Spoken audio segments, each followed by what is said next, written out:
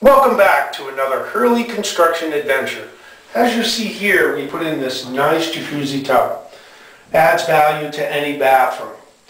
And we proceeded to put in these nice design work of these tiles with fancy patterns.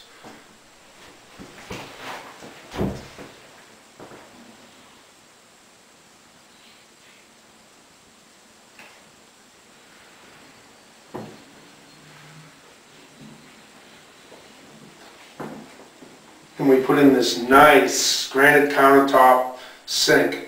In order to save cost, what we did- had done is we purchased this separately and stained it to the color that we needed, glued it on there.